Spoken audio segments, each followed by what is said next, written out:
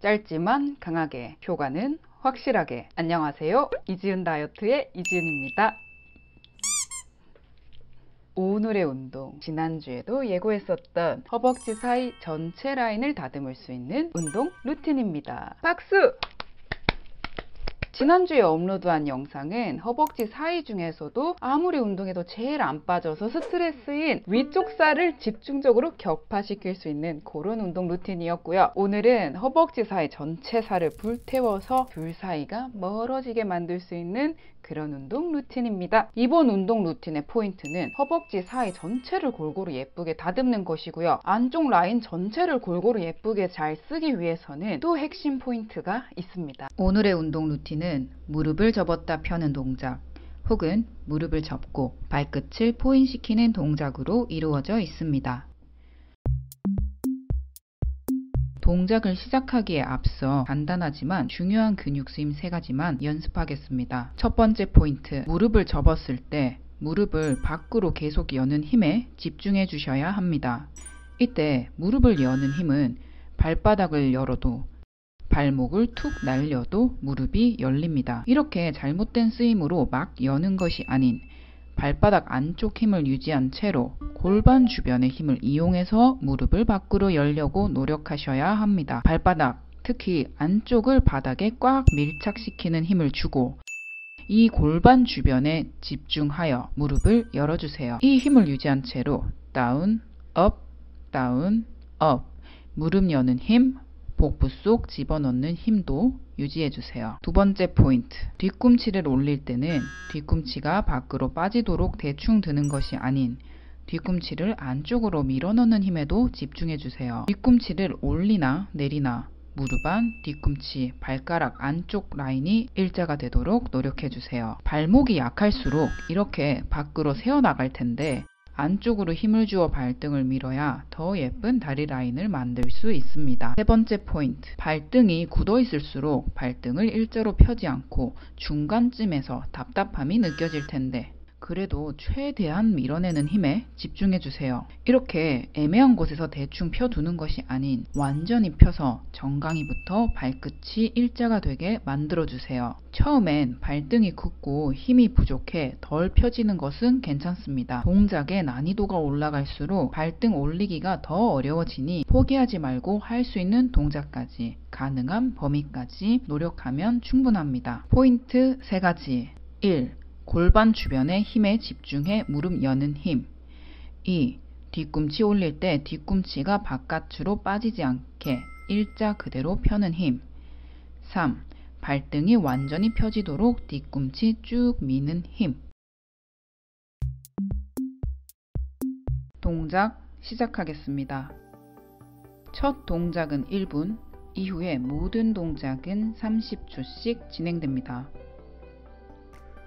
벽을 바라보고 서서 손바닥 벽에 밀착, 벽과 발끝 사이 간격은 발 사이즈의 2분의 1 거리, 두 다리, 발가락, 뒤꿈치 사이를 완전히 붙이고 준비합니다.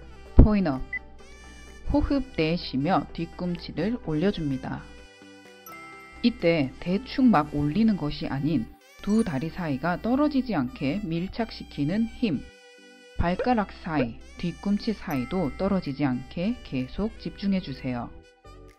발목 종아리 정강이 근육을 올바른 방향으로 사용하기 위한 중요한 사전 동작입니다. 뒤꿈치는 어중간한 위치까지가 아닌 최대한 완전히 발등이 일자로 펴지도록 강하게 밀어주세요.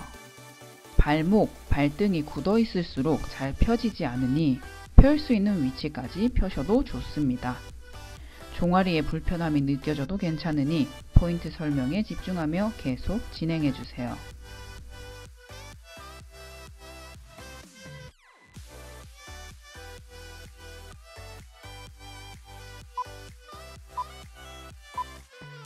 frog up down 두 발 사이 각도 80도 정도로 열고 무릎을 접었다 펴주세요.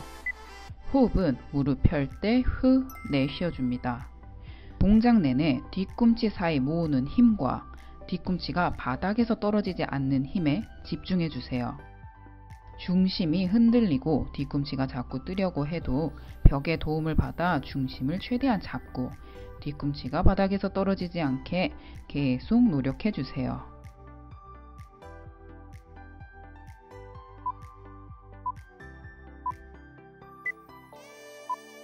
프로그 포인업 발 위치는 앞동작과 동일 무릎을 완전히 편 상태로 호흡 내쉬며 뒤꿈치를 올려줍니다. 이때 뒤꿈치 올리는 힘에만 집중하면 뒤꿈치 사이가 떨어지기 쉬운데 발등을 그저 많이 밀기보단 뒤꿈치 사이를 붙이는 힘에 더 집중해 주세요. 뒤꿈치 사이가 떨어지지 않는 위치까지만 up down 해주세요. frog up down and point up 두 동작을 연결하겠습니다. 무릎 접었다 펴고 뒤꿈치 올렸다 내려줍니다. 무릎 접었다 펴면서 호흡 내쉬고 다시 뒤꿈치 올릴 때 호흡 내쉬어 주세요.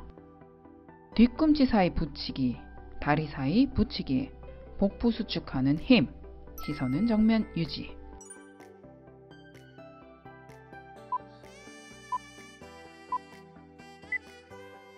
이번엔 두 발을 더 넓게 열어줍니다. 발끝과 벽 사이 간격은 앞동작과 동일하게 발 반 사이즈, 발과 발 사이 간격은 무릎을 열고 툭 하고 앉았을 때 무릎과 복숭아뼈가 일자로 떨어지는 위치가 좋습니다.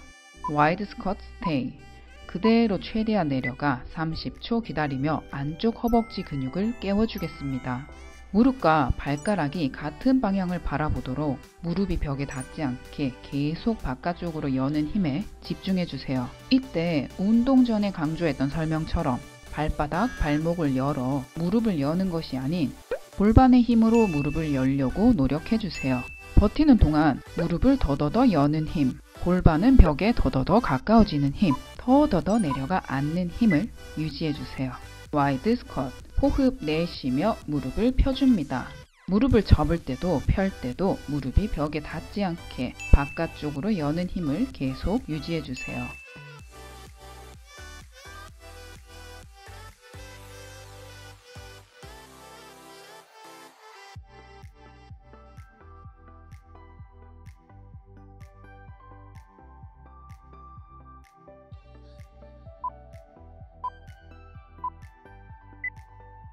wide squat point up single wide squat 자세에서 유지 호흡 내쉬며 오른발 뒤꿈치 올렸다 내리고 다시 호흡 내쉬며 왼발 뒤꿈치 올렸다 내려줍니다.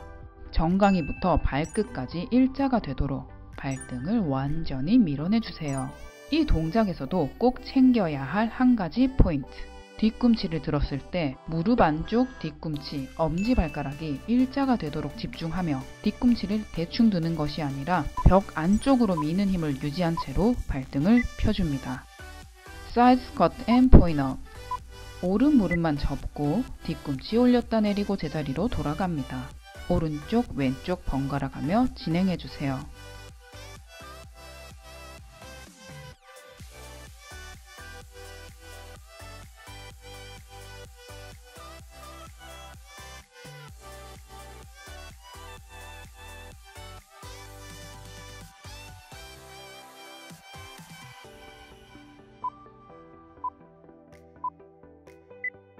wide squat point up single plus 호흡 내쉬며 한쪽 무릎 접는 힘과 발등 펴는 힘을 동시에 주세요. 조금 헷갈리셔도 익숙해지면 금방 쉬워질 거예요. 모든 동작 무릎 접고 펴고 발등 펴는 것밖에 없으니 몇 번 하시면 금방 쉬워질 겁니다. 화이팅입니다.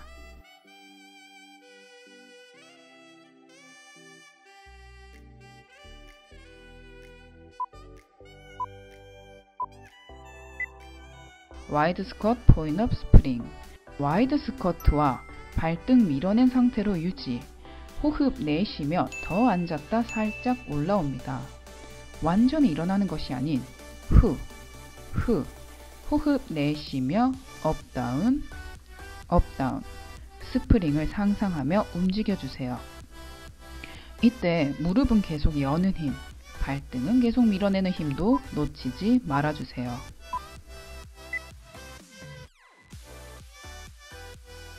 wide squat point up down 호흡 내쉬며 앉는 동시에 발등을 펴줍니다. 균형 잡기 어려워도 벽의 도움을 받아 최대한 집중해 주세요. 동작을 따라하려고 노력만 해도 충분하니 계속 진행해 주세요.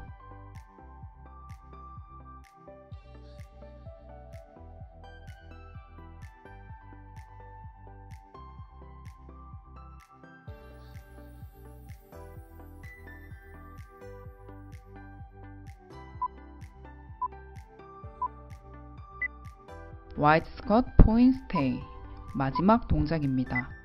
wide 스쿼트와 발등을 최대한 펴은 상태로 유지 30초 버티겠습니다.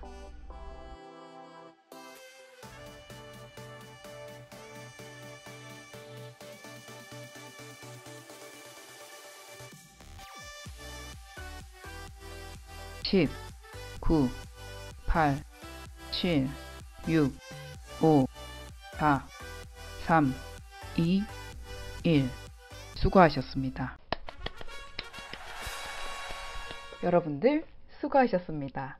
오늘 운동 루틴은 매일 두 세트씩 일주일 동안 진행하면 됩니다. 여기서 나는 허벅지 사이 전체도 스트레스인데 특히 안쪽에서 제일 위쪽 이 사이가 너무 스트레스다 하는 분들은 지난주에 올렸던 안쪽 허벅지 제일 위쪽 운동 한 세트 요거 두 세트 이렇게 묶어서 일주일 동안 진행해도 너무 좋을 것 같습니다. 그럼 오늘도 이지은 다이어트의 이지은이었습니다. 다음 주 운동 영상도 예고해 볼까요? 다음 주 운동 영상은 입니다. 안녕.